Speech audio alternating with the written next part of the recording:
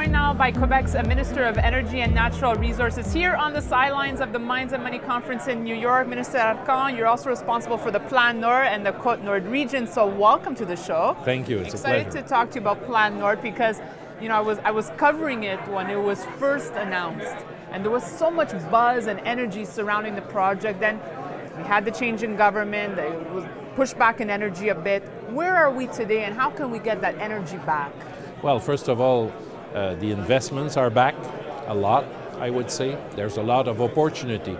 And what is fascinating with Plan Nord now is that uh, you have an area that is about twice the size of Texas when you think about it. Absolutely. And Yeah. it's a huge area in which a government now has a chance not only to uh, make uh, a lot of development in terms of infrastructures, but also work on the environment, work on social progress, uh, improve the lives of communities. This is what it is all about.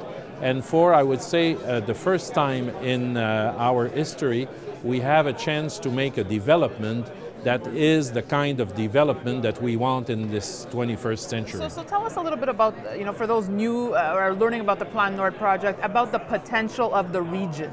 Well, we have an area called the Labrador Trough, which is in Quebec and partly in Labrador.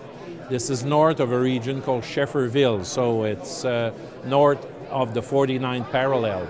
And this is an area in which you have a huge mineral deposits, a potential for all kind, not only iron ore, but also vanadium, lithium, rare earth, Right. all of this uh, together.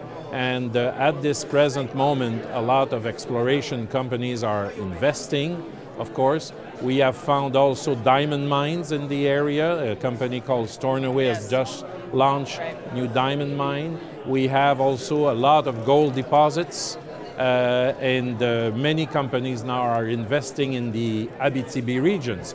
So from the James Bay in the west part of the province to the North Shore on the east part of the province, there is a lot of So activity. how much work can this create for, for Canadians? Well, when you look at the mining sector in Quebec right now, what we're talking about, direct and indirect job, is about 25,000 jobs. So it's quite significant.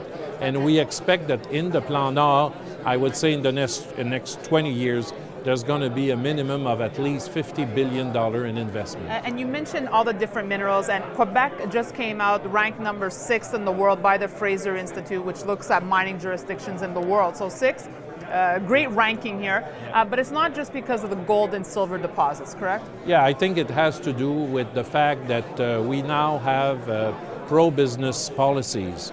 We try to simplify things for companies. We try also to uh, work with them. We have created a corporation, uh, a Quebec government corporation called Société du Plan Nord, which will help facilitate uh, things for the companies who wants to invest. So, for example, when they need their environmental permit, when they uh, need to talk to the banking arm of the government, Investment Quebec, when they need to uh, discuss with the mayors or the Right. municipal affairs. I mean, the, the company is there to facilitate, I would say, uh, the involvement of promoters. Now, Yukon is another very uh, popular and hotspot that's growing right now in, in Canada for mining. How does Quebec compare, and what do you feel the advantages are? Well, the advantages are, first of all, uh, people are very confident to invest in Quebec for many reasons. Because we have, I think, good policies. We have a balanced budget as a government, so I think it's, uh, it's very important. Quebec is perceived now as a jurisdiction which has been able in the last few years to balance the budget.